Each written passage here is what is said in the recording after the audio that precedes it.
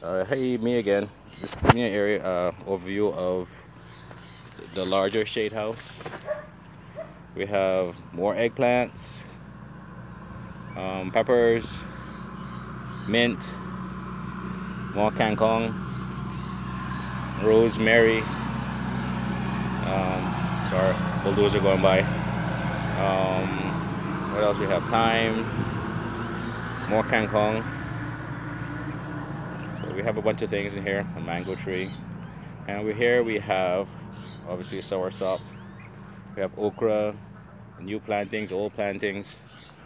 Malabar spinach or um, alugbati as the Filipinos would call it. Uh, we have that here as well. This is like our little food forest. So you'll find a mix of things in here as well. Um, there was a lot more diversity but we're slowly you know finding out what what grows and what doesn't. And we're replacing the ones that don't with the ones that do. You know and you know demand also drives that. So just a quick walk through here. Um, here we have more new okra coming in.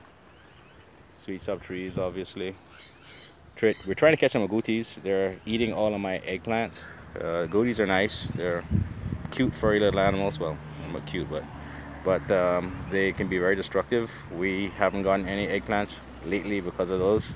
Um, they come here in the evenings or in the mornings and have breakfast or dinner and you know destroy the crops but you know it's nature so what can you do uh, we have suckers June plum more sour sop so just do a quick pan through show you what we have here. Callaloo, not doing too well. You know, um, we're trying, but not having much luck. There's a butterfly. Um, the uh, figs are actually blooming again, so that's great. Got that from a lady that we met um, from Cuba. Thank you. The tree is doing great.